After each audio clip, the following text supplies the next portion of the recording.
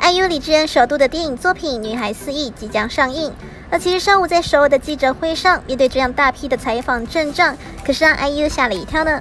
저는 정말 솔직히 얘기하면 이 프로젝트가 이렇게 제작 발표회를 가질 정도로 큰 프로젝트가 될지 몰랐는데 아니 너무 커졌지. 네, 다들 넷플릭스 다 감사합니다. 마찬가지 선배님만은 아셨을지 모르겠는데 저는 처음에 이게 작품을 제안 받았을 때 어, 진짜 이렇게 큰 관심 받을지조차 몰랐고 어, 단편 영화 네 편을 찍는다. 그래서 아 이거 좋다. 그냥 어, 나는 열심히 해보고 싶다. 이렇게 시작을 했는데 정말 언론에서도 그렇고 또 저희 팬분들도 이렇게까지 막 거의 제작 발표를 하는데 기자분들이 이렇게 막 100분이 넘게 오시고 상상도 못했어요. 而这次作品与四位导演合作，IU 就被问到这个问题。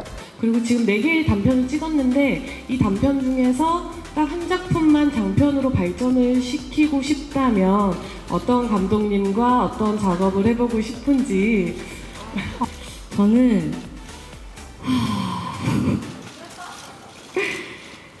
여기 현장에 알겠습니다. 이경미 감독님의 아 정말 글씨 그죠? 네, 이경미 감독 정말 슈퍼스타인 것 같아요. 이럴 때 항상 없는 곳에 답이 있다라고 아까 말씀드렸잖아요. 真不愧是 IU 呢，而在这部片里，他也挑战了网球。 처음에는 정말 너무 힘들었어요. 테니스가 아 이건 안 되겠구나. 저는 뭔가 이렇게 도전할 때 그래도 아 너무 힘들지만 하면 될 거야라는 마음으로 일을 하거든요. 근데 정말 처음이었어요. 11년 만에 처음으로 일을 하면서 이건 안 되겠다라는 생각을 했는데 어 마침 또 좋은 타이밍에 배두나 선배님께서 연습하시는 걸 제가 본 거예요.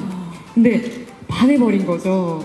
와 저보다 심지어 그 나오신 그 횟수 적으신데 운동신경이 너무 좋으셔서 그래서 아, 네, 이럴 때가 아니다.